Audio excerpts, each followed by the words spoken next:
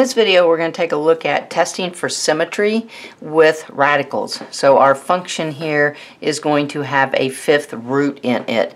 Um, the radicals in the functions tend to make this a little bit harder.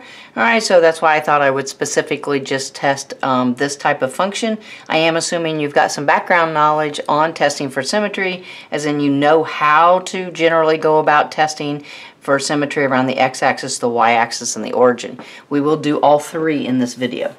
Alright, so first of all, let's just start with our x-axis. Alright, we want to test for symmetry around that x-axis.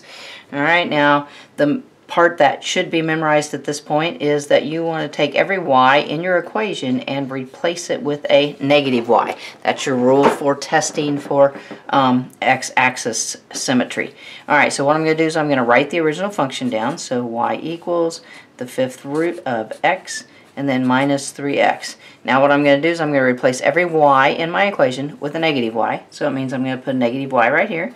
So negative y. Everything else stays the same. So this will be the fifth root of x minus 3x. Alright, now I am done because uh, I can't simplify this any farther. I didn't make any changes on the right, so I'm actually done right here. So what I'm going to do is I'm going to ask myself, is does that match my original equation? Alright, so let's actually write that out. Does, uh, does it match? Alright, no, it does not match. So since it does not match, it is not symmetric to the um, x-axis. Alright, so let's draw a little conclusion there. Therefore, it is not symmetric to the x-axis. Okay, now let's go and test for the y-axis. Alright, again, hopefully you already have this part memorized to test for symmetry around the y-axis. I am going to take every x in my equation and replace it with a negative x. Alright, so again, I'm going to write down the original equation. So y equals the fifth root of x minus 3x. Alright, now each one of those x's I'm going to replace with a negative x. So we'll have y equals the fifth root of a negative x minus 3 times a negative x. Alright, now our goal is to go through and try to simplify this. Alright, I am going to break this since it's got a negative underneath the radical. We know that we can take odd roots of negative numbers. So I'm going to split this up into a negative 1 times um, my x. And then this is just a negative times a negative. That'll just be a plus. So I'm going to rewrite this as y equals, simplifying this so we can see it out, the fifth root of a negative 1 times the fifth root of an x because I can take the odd root of a negative number. Alright, that negative times that negative will make this a plus 3x. Alright, this right here, the fifth root of a negative 1 is negative 1, so I can simplify the next line being y equals negative 1 fifth root of x plus 3x. Alright, now I have simplified as far as I can, so we're back to our question does this match our original equation? All right, does it match? All right, and we can take a look at that and we can see that it does not match. The plus and minus there does not match. The negative in front of that does not, not match. So therefore, it is not symmetric to the y-axis.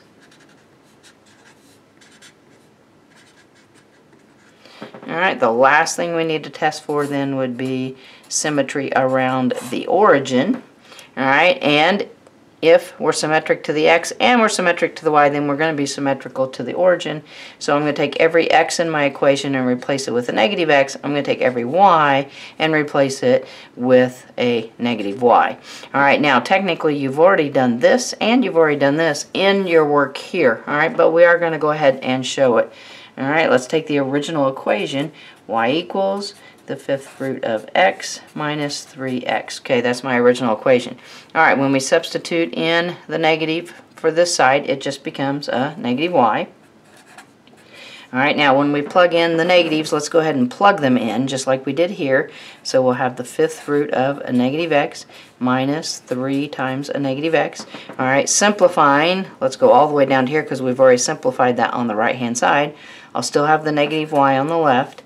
Simplifying this, I'll have a negative fifth root of x plus a 3x. Alright, now what we need to do is I want to simplify even farther. All right, I do a common mistake here. I, I want to get rid of some negatives here, but what we do is we have a lot of kids just go, oh, there's a negative and there's a negative, and then they ultimately are doing an algebra step wrong here. What you've got to do is you've got to consider that this is a binomial on that side of the equation. So if I want to be able to cross out a negative on both sides, I'm going to be able to do that, but first I need to factor a negative out right here. Okay, so the negative y stays on that left-hand side. If I take a negative 1 out, that turns that fifth root of x positive. It turns the 3x to a negative. Now I pulled out the negative 1 in front. There's an imaginary negative 1 that's sitting right there. Now I can legally cross both of those out. Simplifies down to y equals the fifth root of x minus 3x. Alright, that's my simplified version. Now I'm going to come up here and I'm going to ask myself, does it match?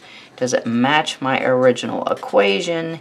And in this case, yes it does. Alright, so we finally have an answer. Therefore, alright, it is symmetric to the origin. Okay, so overall, I'm just going to do this one example on this because I just wanted to focus on how you handled that fifth root.